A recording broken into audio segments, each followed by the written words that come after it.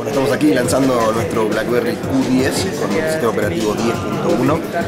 Y bueno, la, característica principal que tiene este nuevo dispositivo es el teclado físico, teclado QWERTY físico, pero no solo como, como una tecla donde uno puede apretar, digamos, físicamente, sino como una herramienta de experiencia fluida a través de, de algo que llamamos Instant Actions o acciones instantáneas, donde desde el teclado podemos mejorar la navegación. También eh, mejoramos la cámara con HDR, eh, por supuesto mejoramos la performance en general del, sistema operativo, la, batería, eh, un montón de, cuestiones que fueron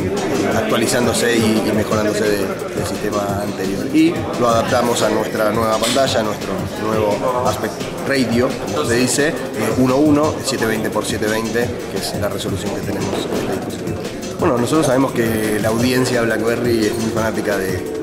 los teclados QWERTY físicos y por supuesto que no íbamos a abandonar. Sabemos que en el corporativo es muy útil